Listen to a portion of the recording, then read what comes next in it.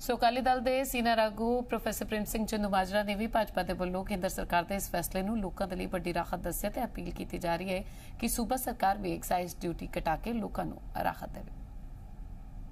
ਸਵਾਗਤਯੋਗ ਕਦਮ ਆ ਦੇਰ ਦਰੁਸਤ ਆਏ ਵਾਲਾ ਕਦਮ ਹੈ ਔਰ ਮੈਂ ਸਮਝਦਾ ਮਹਿੰਗਾਈ ਦੀ ਮਾਰ ਜਿਹੜੇ ਲੋਕ ਚੱਲ ਰਹੇ ਸੀ, ਆਮ ਚੀਜ਼ਾਂ ਦੀਆਂ ਕੀਮਤਾਂ ਵੱਧ ਰਹੀਆਂ ਸੀ, ਉਹਨੂੰ ਠੱਲ ਪਏਗੀ ਭਾਰਤ ਸਰਕਾਰ ਦੇ ਇਸ ਫੈਸਲੇ ਦਾ। ਇਸ ਕਰਕੇ ਅਸੀਂ ਸਵਾਗਤ ਕਰਦੇ ਹਾਂ, ਪਰ ਪੰਜਾਬ ਸਰਕਾਰ ਨੂੰ ਅਪੀਲ ਕਰਦੇ ਹਾਂ ਕਿ ਇਹ ਤਾਂ ਵੈਟ ਦਾ ਰੇਟ ਘਟਾਵੇ।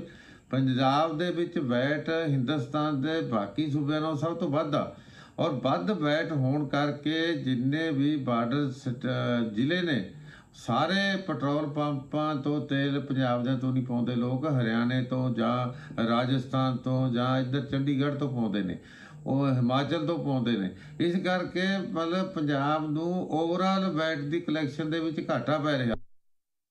ऐसा है कि बहुत सराहनीय कदम है कि प्रधानमंत्री श्री नरेंद्र मोदी जी ने एक बहुत बड़ी राहत मध्य वर्गीय परिवार और गरीब परिवारों को दी है कि देश के अंदर पेट्रोल के साढ़े नौ रुपये और डीजल के साढ़े सात रुपये और रसोई गैस के दो सौ रुपये प्रति सिलेंडर कम करना, मैं समझना बहुत बड़ी राहत है।